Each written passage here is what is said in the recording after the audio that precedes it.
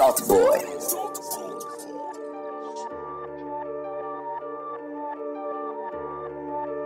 Damn, Sanchez Jones in the game.